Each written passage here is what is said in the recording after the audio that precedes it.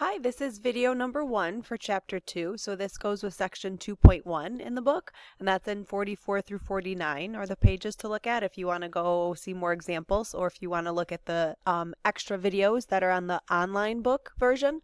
There's extra examples and videos there. So we're talking about rational numbers in this section. So there's two targets. Write these down on your paper. After this section, we should be able to convert between different forms of rational numbers and also compare and put rational numbers in order, so knowing how to compare the size of them. So, first thing would be to figure out what rational numbers are. So on the next slide, we'll talk about some vocab. And the first one is, what is a rational number? So a rational number has a little bit of a confusing definition, but we'll look at examples. It's any number that can be written as a ratio, a over b. So some examples of rational numbers would be 5, positive 5, because I could write 5 over 1. That's a ratio of 1 to 5, or 5 to 1. I could say negative 3 is a rational number, because I could write negative 3 over 1. But all of your fractions are also rational numbers, like 2 thirds, 5 sevenths, and the positive or negative versions of those are all rational numbers. Non-examples the the non-examples are almost easier. Non-examples are anything that's just a decimal that keeps going with no pattern, no um, it doesn't end and it doesn't repeat. It would just keep going. So things like pi, if you know pi is uh, 3.14259 and it keeps going, it never ends. Those decimals that keep going are not rational numbers. But anything else that you could write as a ratio or a fraction is.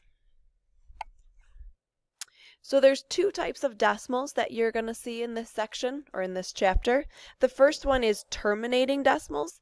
If something terminates, it means it ends. So decimals that just end, 0.5, 0.75, 0.62. Those are all terminating decimals. They just stop. They don't have any more numbers that keep going. Repeating decimals are decimals that have patterns, 0.111 repeating, 0.53 repeating. So 0.5353535353. Anything that has a pattern that keeps going, sometimes you'll see them like 0.83 and just the threes keep repeating. Those are repeating decimals. Both of these types of decimals are examples of rational numbers. So besides knowing what a rational number is, we're going to go on to the next section. We have to be able to convert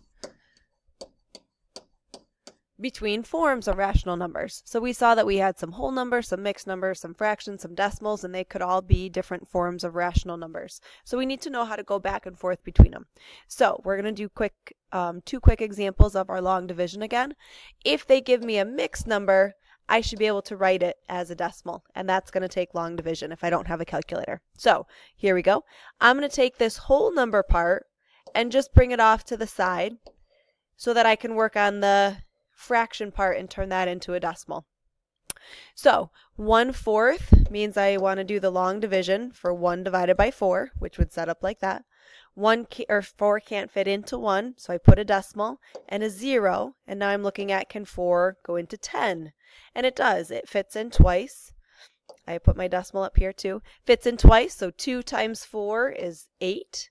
Subtract those, I have a remainder of 2, Bring down another zero. I have to keep going. So now 4 into 20, and it fits in 5 times. 5 times 4 is exactly 20, so I have no remainder, and I'm done.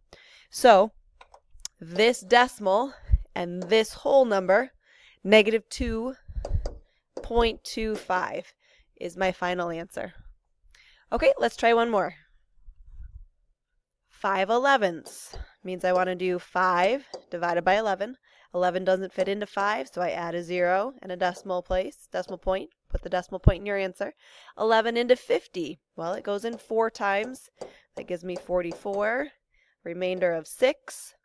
Bring down a 0. We got to keep going. So now 11 into 60. Well, that would fit in 5 times. 5 times 11, 55. So I get a remainder of 5. Bring down another 0. Well, if you notice, um, now I'm looking at how many times 11 goes into 50, and that's what I started with right here at the beginning. So you might notice it here. It's going to keep going. I'm going to keep getting the same pattern over and over. Once you realize there's a pattern, you can just stop and put that repeating bar over your answer to say it keeps repeating that same pattern.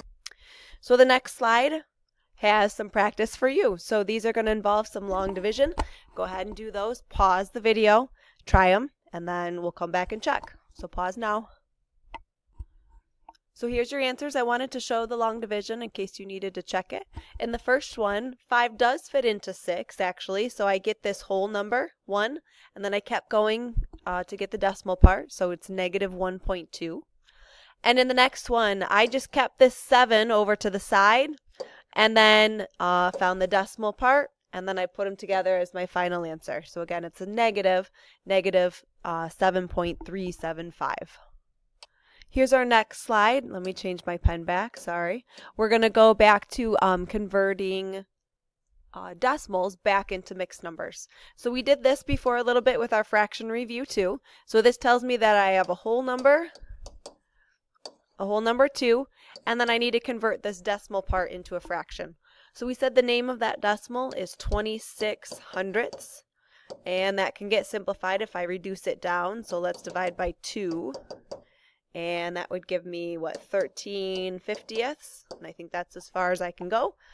So my final answer should be this whole number 2 and the no decimal sorry the 13 50ths how about the next one keep your whole number just off to the side let's change this 0.15 into a fraction um, get my pen so 15 hundredths would look like that I need to simplify it down. Looks like maybe I can divide by 5. And I would get 15 divided by 5 and 100 divided by 5. So there's the decimal part. Now I just have to put it together. My whole number, the negative 3, and the decimal. So there's your final answer. This is practice for you. So turn these decimals into mixed numbers. So pause it here and try it. So here's the answer. In the first one, I kept this 4 and just brought it down. I turned the 0.88 when it was simplified into 22 25ths, and then I put it all together for my final answer. And this one again, keep the 3 as your whole number. Turn 20 one hundredths, simplified down into one fifth, so 3 and one fifth.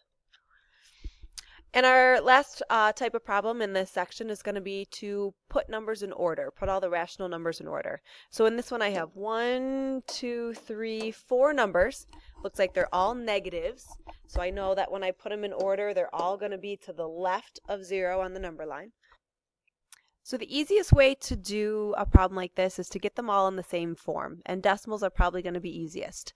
So I'm going to have to change 5 ninths into a decimal, negative 1 and 3 fourths into a decimal, negative 13 eighths into a decimal, and then this one's the negative 0.6 is good to go. So let's set it up. Negative 5 ninths. That means I'm going to have to do some more long division. Okay, so we'll set that up. that decimal answer, remember it's going to be a negative. Um, let's try it real quick. 9 doesn't fit into 5, so 9 into 50 goes in 5 times. That's 45. I'm going to keep getting this same pattern over and over. So I can see it's going to be 5 again. That's just 45. So I know it's just going to be 0.55 repeating, negative 0.55 repeating. That's my first one. Over here, negative 1 and 3 fourths. I'm going to have to do some more division for 3 fourths. 4 doesn't fit into 3, but it can fit into 30. Let's see, uh, 7 times. So 7 times 4 is 28. And then I have a leftover 2. Bring down a 0. 4 fits into 25 times. Maybe you remember that 3 fourths is the same as 0.75. Okay, so we got that one. So this is going to be negative 1.75. And then um, I'll let you pause and change the 13 eighths into a decimal. It might help if you want to write it as a mixed number first. So 8 fits into 13 one time with 5 left over. So pause right now and turn that 1 and 5 eighths, negative 1 and 5 eighths, into um, a decimal, and then we'll come back and put them in order. So go ahead, pause, do that long division. Okay, so you can see I finished the long division, and that one gave me right here, 0.625. So when I put it back with my whole number, negative 1.625. So let's write those four numbers down. I have negative 0.55 repeating. I have um, negative 1.75. I have negative 1.625. And then back from my original problem, I have negative 0.6. Okay, so there's my four numbers. I've moved my number line down just a little bit. Let me put it a tiny bit lower so we have room. I'm going to set this up. I know I have to go from 0, counting back towards my negatives. I need it all to fit between 0 and negative 2. So this might be negative 1. This might be negative 1 half. And this in between negative 1 and negative 2 would be negative 1 and a half. So there's my number line. Let's see where these go. I'm going to get a different color so we can see them more easily. All right, so this would be negative 0.5. Negative 0.55 would be about there. Negative 0.55 repeating. Then my negative 0.6 would be right next to it. Then I don't have anything else. I'm counting down, now moving down to negative 1. Nothing else yet. Nothing in between there and negative 1 and a half. Right in the middle of these would be my negative 1.75. Oh, and I missed, I skipped. I'm going down now. I still see I have negative 1.625. So that would be just a little bit before it. Okay, so there's where my four numbers would go. I have them in order from um, least to greatest, which would mean starting here. Negative 1.75 is the smallest. Negative 1.625 would be next. Negative 0.6 would be next. And then negative 0.55 repeating is technically the biggest, the greatest out of these.